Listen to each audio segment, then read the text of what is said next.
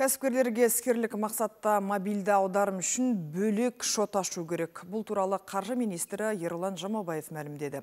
Егер жеке тұлға ретінде аударым қабылдау жалғасатын болса, айыппұл салынады. Осылай деген ведомство басшысы мобильді аударым бойынша енгізілетін өзгерістерді түсіндірді. Сөзінше бұдан бұлай тұлғалардың мобильді аударымдары бақылауда болады. Егер азамат бір айда жүзден аса адамнан төлем қабылдайтын болса, онда ол түсім үшін салық төлеуге міндетті. Айта кету керек, бұл жаңашылдық 2025 жылы енгізіледі.